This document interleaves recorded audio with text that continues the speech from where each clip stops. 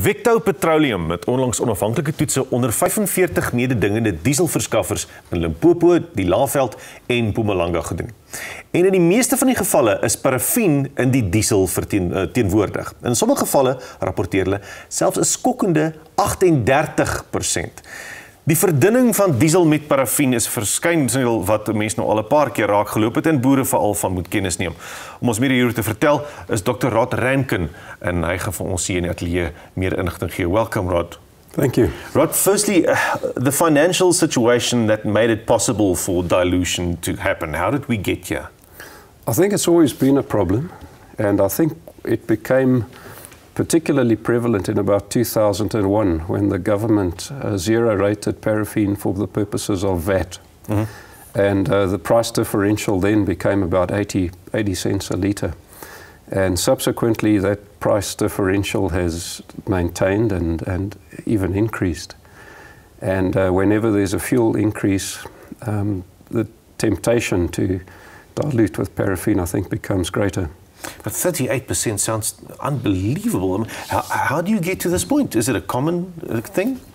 Well, a number of taxes uh, applied to diesel which don't apply to paraffin. Besides, you know, the, the down rating of, of paraffin for VAT purposes, things like the road accident fund and the road fuel levy, mm. um, those aren't applied to paraffin. I think to make it more affordable to poor people. Uh, is it routinely done? Is diesel routinely cut back even by the big suppliers, even by the refineries? Yes, it is, particularly in winter, um, although few of them will actually admit it. They, they won't admit putting paraffin in, but they put the equivalent of paraffin in to make the, the fuel more flowable mm-hmm. in the cold winter time. What kind of damage can you expect from something like this? Yeah, it varies. Um, I think today with modern engines, mm. which have very, very tight tolerances on the, the, the, fuel injectors and the fuel pumps, the, the damage is particularly severe. Um, today with these common rail engines, you typically have working pressures of thousands of bars, two, mm. 3,000 bar working pressures, and uh, very tight tolerances. And uh, it only takes a, a little bit of reduction in lubricity or a little bit of dirt to do immense damage. And the problem is paraffin is not a good lubricant. Mm. Um, the fuel injector nozzles and the fuel pumps are lubricated by the, the fuel that they pump.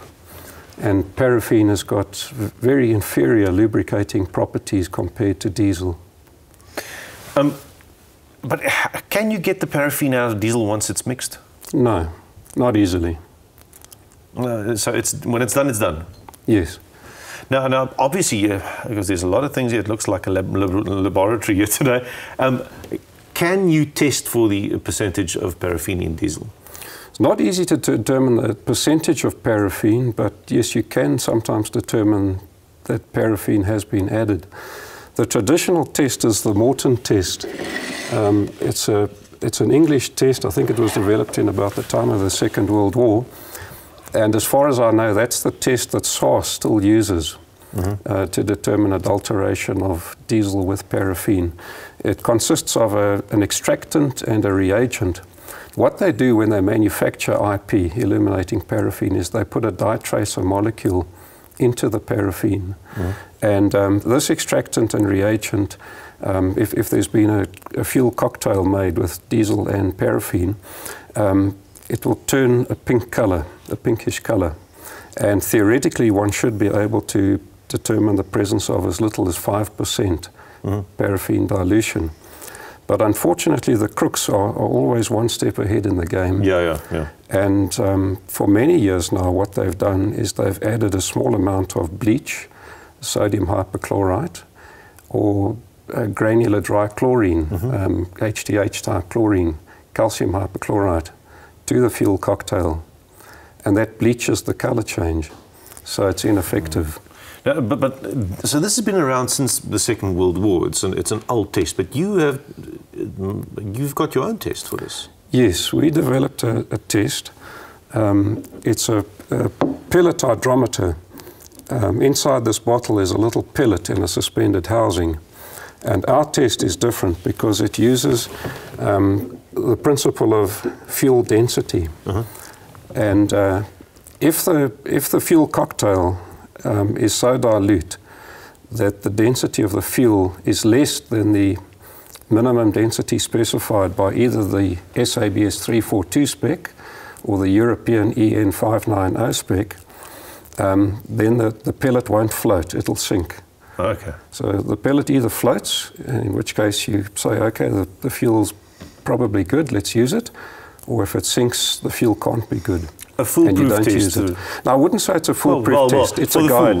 that It's a guide. the, the only other way to test it is to take a sample to a laboratory, Yeah. which can take weeks and Yeah, it'll yeah, cost over a thousand rand. So But uh, you don't need a lot of paperwork and, and experience and classes and coaching to know how this test works and to It's to very manage it. simple. Very simple, very straightforward. Um, just a, a question: How much is it this going to cost, and where can you get it? They, they cost a few hundred rand. Um, we, we've got a few suppliers in South Africa. Mm-hmm. One of them is, is Rodak Diesel. It's a Bosch agency.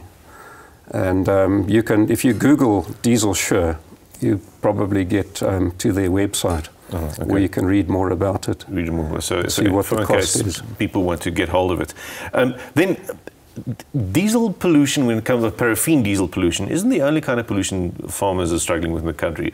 Uh, I think a, a, a more obvious one, more recurring one, is, is, is water pollution in diesel. I think you're talking about contamination Yeah, yeah. of the diesel. Yes. Um, paraffin's probably not the worst thing you could find in, in diesel. Um, water must definitely be worse. Um, water can cause other problems. It can cause fuel injector nozzles to explode. Um, it causes corrosion. Uh, if there is some uh, hypochlorite bleach in the fuel, it will really accelerate the rate of corrosion. Um, yeah, you, you don't want water in your fuel if possible. Um, and if there is ordinary petrol and diesel, That's very bad as well. Um, one of the, the hazards of putting ordinary petrol in diesel is that uh, it reduces the flash point of diesel. About 4%. uh, normally, people understand that diesel is quite a safe fuel compared to petrol. It's not likely to, to combust easily. Yes. That makes it safe. But with as little as 4% petrol in diesel, it has a similar flash point to, to petrol. my word, it makes quite a difference. Yeah, and when you burn uh, diesel contaminated with petrol, it can do terrible damage to your engine. It can burn a hole in your piston very quickly. My goodness, Rod. Thank you very much for being here and sharing your insights with us. You're welcome. Ja, dit was dan Dr. Rod Rankine en ons gesels oor die verdunning van diesel met paraffin.